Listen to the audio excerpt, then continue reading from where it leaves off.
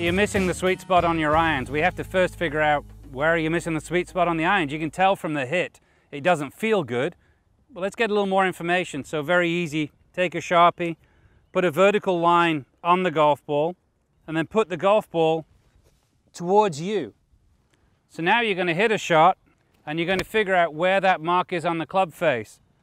So for most people, what I find, you tend to hit too much towards the toe. So something is shortening the radius. Find out where you're hitting it in the face. If it is towards the toe, try and get where you feel some more extension in the downswing.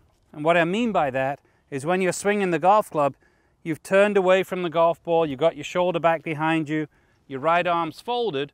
If you come back down and you don't straighten your right arm, now obviously your hands are going to be high and that radius is much shorter. So try and hit a few shots you got the line on the golf ball, the ball's facing you or the line's facing the club face.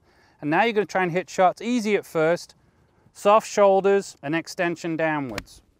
If you're doing that well, add a little bit more speed in, but see where the club face is hitting the golf ball to begin with. That's really important to figure out.